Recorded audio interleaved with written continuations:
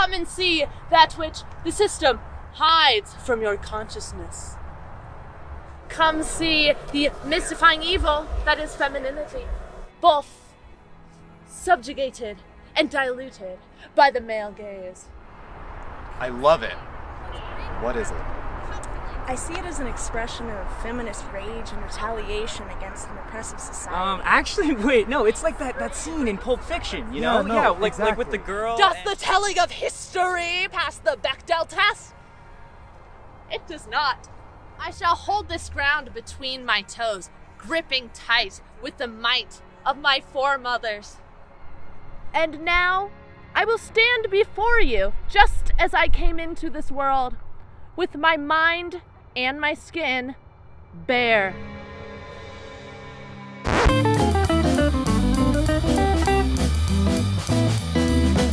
Please don't worry. As a public defender, I've dealt with many similar cases before. Public indecency is a serious charge, but we've got a standard response which is very successful with the county judges. So, if you would just go ahead and sign here to indicate that you were intoxicated at the time of exposure, and let's see, based on your outfit, I'm sure we can get a positive drug test of some I kind. I was stone cold sober during that performance. I always am. In fact, I've been collecting every drop of my urine for the past eight months as a part of my next project. This is from today. You can test it if you want. No, th- thank you, Miss Johnson. That's okay. Alexander Posner, just because you are a government employee, that does not give you permission to use my government name. My stage name is Aura. Orifices. Well, Miss Phises, there's another defense that we could pursue. Your sentence will be substantially reduced if you have a family history of mental illness, so. I don't have a recorded history of mental illness, seeing as I will never go to a psychiatrist. My brain is perfect the way it is. It's what makes me an artist. Well, Miss Phises, I need you to work with me a little bit. We do need some kind of theory of our defense. Maybe I need a better lawyer. I'm a public defender. You couldn't afford a more competent lawyer, remember? Also, your court date is in three hours. what? Well, you didn't show up to any of our previous consultations. I was busy. The womb of my mind has been gestating the fetus that is my next Please show. stay focused. Public indecency is a serious charge. It can levy a fine of up to $5,000, and it'll land you in prison, and it'll land you on the sex offender registry. I didn't have sex with anybody. That's not exactly what I And meant. there's nothing offensive about the female body. Aura, your life and your reputation are going to be ruined if you don't work with the system here. Well, I'm not going to pretend to be mentally ill or on drugs. I stand behind everything I said and did. To do otherwise would be to sacrifice my artistic integrity. Artistic integrity. Why does that sound familiar? I'm also surprised you've heard of it. Hold on. Um. Oh.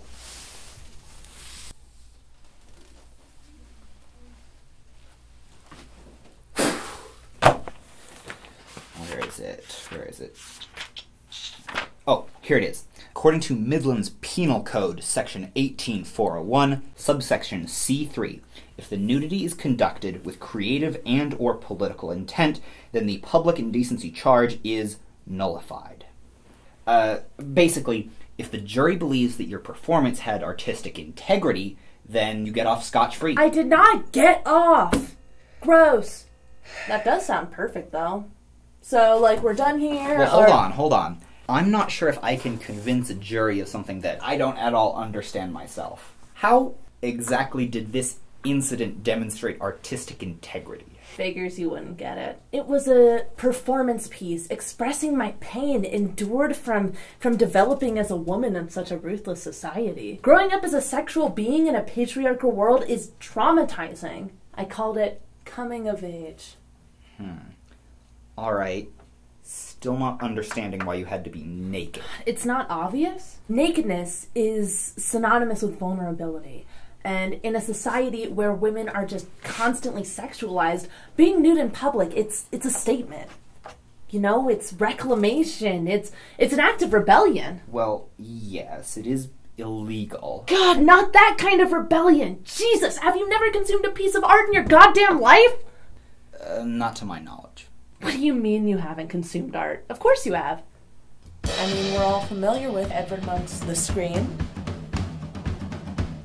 Moving on. Salvador Dali? Mm, but that's not what clocks look like. That's not the.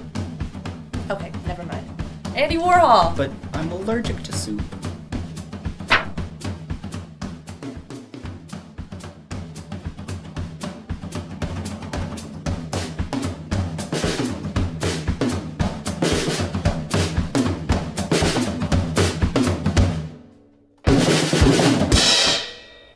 Can't do this. How are you supposed to defend my art when you don't even know what art is? You're hopeless. I'm hopeless?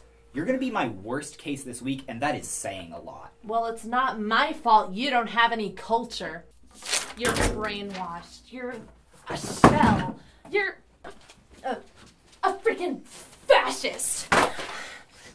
Calendars are actually a Eurocentric construct, anyways, so.